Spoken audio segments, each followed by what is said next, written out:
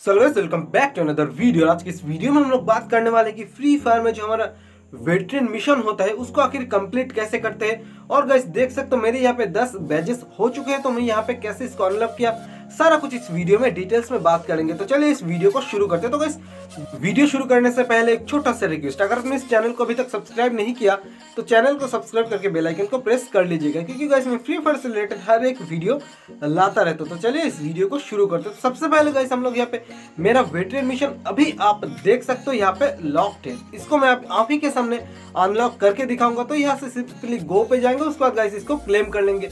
तो गाइस अभी आप देख पाओगे, यहाँ पे मेरा वेटरन मिशन अनलॉक हो जाएगा। और गाइस कैसे मेरा एक ही दिन में 10 बैजेस हो गया, उसको जानने के लिए डिस्क्रिप्शन में एक वीडियो का लिंक है, उसको ज़रूर देख लेना।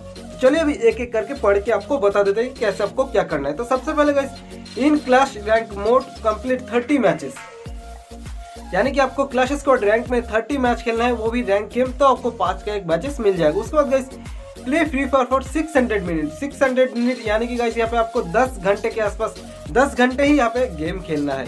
उसके बाद guys in any mode use level 4 mushroom 14 time guys ये सबसे खराब होता है क्योंकि लेवल 4 का मशरूम उतना ज़्यादा मिलता नहीं है। तो आपको 14 लेवल फोर का मशरूम यहाँ पे ईट करना है, तभी आपको एक और पाँच का बैजेस मिल जाएगा। उसके बाद guys in classic mode survive more than 300 second 17 time आपको यहाँ पे 300 सेकंड यानी कि गाइस ऑलमोस्ट कितना?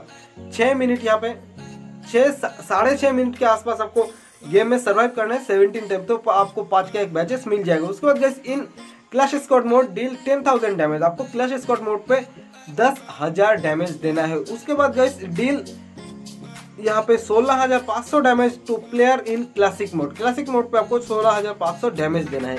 उसके बाद guys in classic mode solo को in any mode and take down two player with headshot आपको सोलो मैच खेलना है सोलो में आपको हेडशॉट मारना है दो प्लेयर को तो आपको पाँच का एक और बैचेस यहाँ पे मिल जाएगा। In classic mode get into top ten without any kill five time तो आपको यहाँ पे क्लासिक मोड खेलना है और गाइस टॉप टेन में आना है फाइव किल किल ना करके पाँच बार। तो गाइस इसको कंप्लीट करने के लिए आप स्क्वाड मैच खेलो, जब तीस बंदे के आसपास ज़िंदा हो, तभी से किल करना शुरू करो तो ये उठ जाएगा। इसमें कोई टेंशन नहीं उसके बाद guys in clash squad mode use sniper rifle to kill ten enemy आपको स्नाइपर से दस एनिमी को किल करना है क्लैश स्क्वाड में। उसके बाद guys in classic mode kill eight player at least sixty five meter away आपको थोड़ा दूर से यहाँ पे एनिमी को किल करना है, आठ एनिमी को किल करना है ऑलमोस्ट सिक्सटी फाइव मीटर दूर से।